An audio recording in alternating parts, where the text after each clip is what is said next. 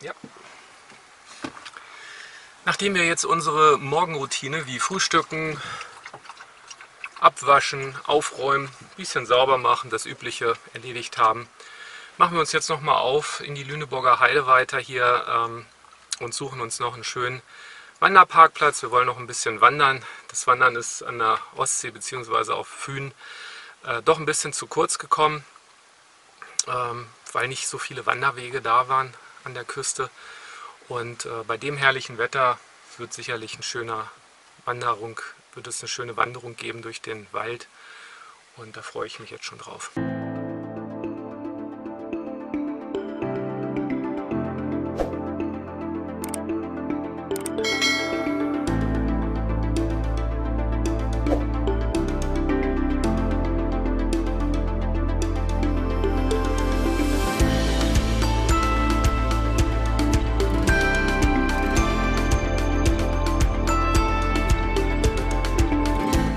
Ein Teil der Lüneburger Heide besteht aus dem gleichnamigen Naturpark im Nordosten Niedersachsens. Der Kern rund um den Wilseder Berg ist als rund 234 Quadratkilometer großes Naturschutzgebiet ausgewiesen und stellt damit die größten zusammenhängenden Heideflächen Mitteleuropas dar.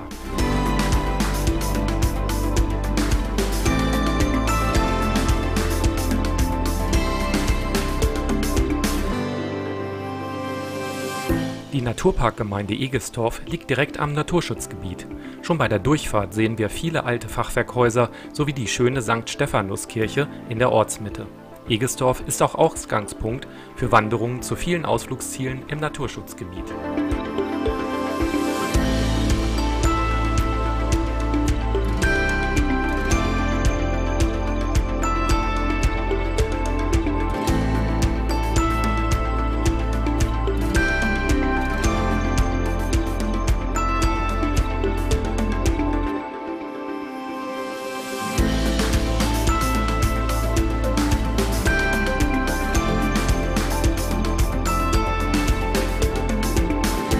Da die Lüneburger Heide nur ca. 100 Kilometer von unserer Homebase in Hannover entfernt liegt, haben wir schon viele Touren dorthin unternommen. Es gibt auf unserem Blog einen umfangreichen Bericht über die Heideblüte mit Ausflug- und Stellplatztipps. Den Link dazu findet ihr auch in der Infobox.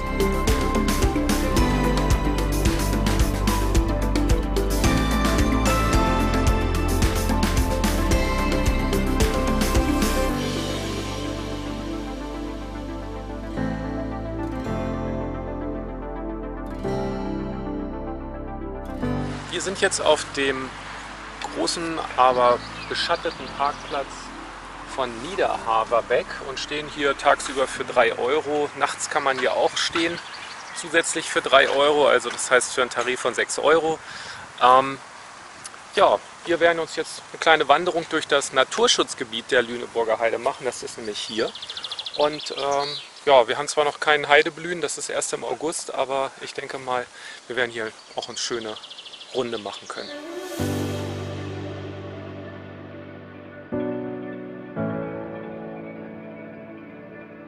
Vom Parkplatz in Niederhaferbeck führt unsere gut ausgeschilderte Wanderroute ca. 4,5 Kilometer in schönster Natur zum Wilseder Berg.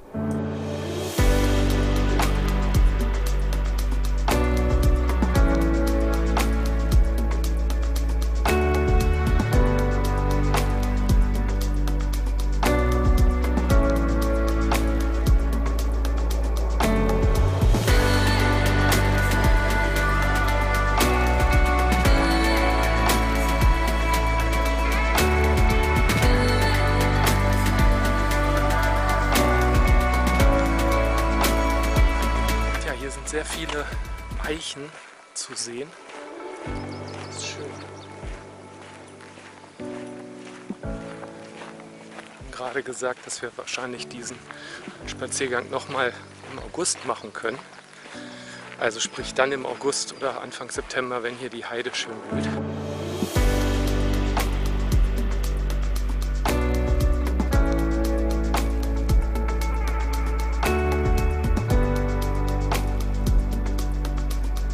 Neben dem Fürstengrab, einem Hügelgrab aus der Jungsteinzeit, befindet sich diese Aussichtsplattform mit einem tollen Blick über die Heide. Von hier kann man den Höhenzug des Wilseder Bergs und den benachbarten Bolterberg betrachten.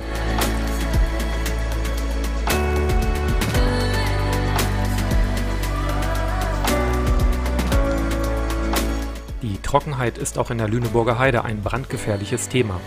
Im August 1975 brach in der Südheide der bisher größte Waldbrand in der Bundesrepublik Deutschland aus, mit verheerenden Folgen, die auch unter löschenden Feuerwehrleuten mehrere Todesopfer forderten.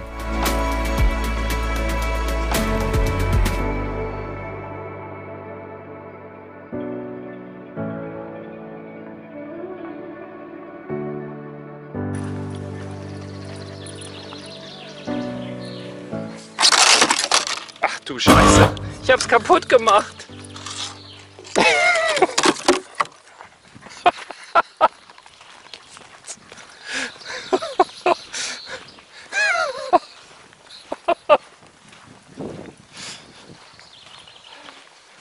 Geh mal, komm.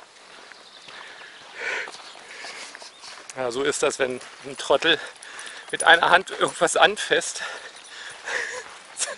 Das war so ein Quiz irgendwie, was ist was oder irgendwie so. Und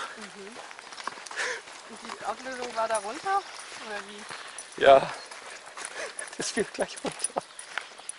Ich habe nur gesehen, dass es an so einer Gliederkette angebracht Ja, war. damit es niemand wegnimmt, aber kann ich doch nicht ahnen, dass das gleich wegrutscht und so einen Radau macht.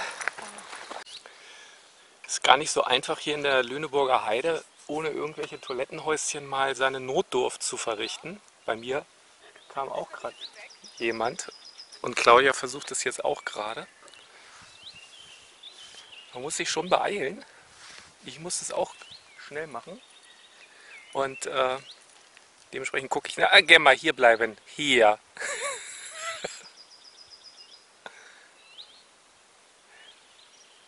Schnell hinter dem Wacholderbusch.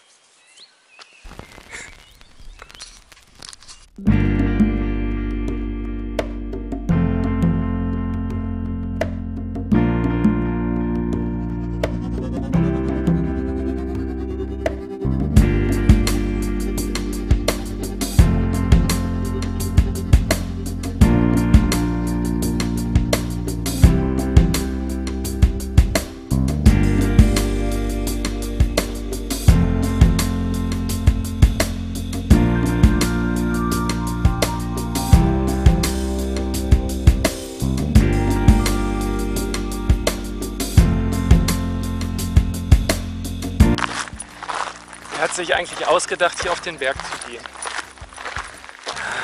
Shit. Wie hoch ist der? 1127 Meter oder so. Leider hat heute die Seilbahn geschlossen.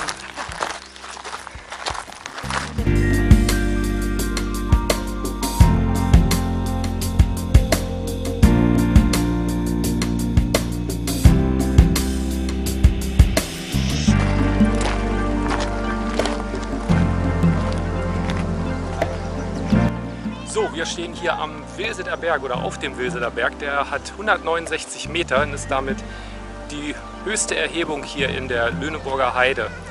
Der Wilseder Berg ist gleichzeitig aber auch eine Wasserscheide. Und zwar sind hier mehrere Quellbäche des äh, Flusses Este, Luhe und Wümme und Böhme. Also vier Flüsse, die hier entspringen.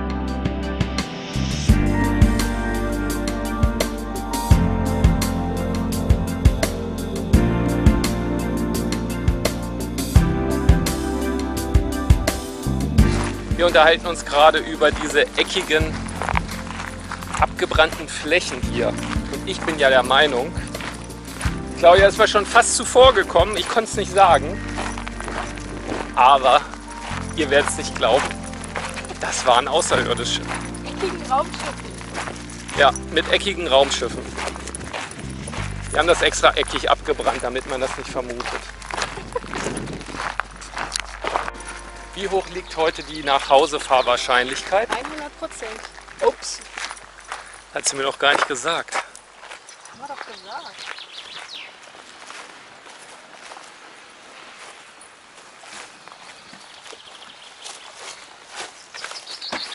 Und schon wieder angekommen beim Wohnmobil. Wir sind jetzt ja, gut zwei Stunden gegangen. Es sind siebeneinhalb Kilometer gewesen, die Tour. Ähm, wobei der Hinweg so landschaftlich insgesamt schöner gewesen ist als jetzt der Rückweg. Ähm, aber das hing wahrscheinlich auch ein bisschen danach, äh, daran, dass ähm, deutlich mehr Besucher, Wanderer unterwegs waren mit Hunden und so weiter. Und Mountainbike. Und Mountainbiker, nicht zu vergessen. Äh, immer sehr gefährlich, wenn der Hund frei läuft bzw. man nicht sich konzentriert. Ja, wie gesagt, kann man sehr empfehlen hier. Der Stellplatz ist auch ganz nett mal zum Stehen, tagsüber natürlich zugeparkt, aber ich denke abends total friedlich. Ähm, für uns geht es jetzt wieder auf dem Heimweg. Wenn ihr mal in der Lüneburger Heide seid, fahrt unbedingt mal nach Niederhaverbeck und macht die Wanderung zum Bilseder Berg. Lohnt sich. Und damit endet der sechste Teil in unserer Playlist Umivo durch Niedersachsen. Wenn euch das Video gefallen hat, gebt uns gerne ein Like und lasst ein Abo da. Eine kürzliche Umfrage bei euch ergab übrigens, dass weiterhin großes Interesse an unseren Roadtrips in Norddeutschland besteht. Gerne kommen wir diesem Wunsch nach und werden bald noch mehr Videos dazu produzieren. Bis dahin macht's gut und bis bald.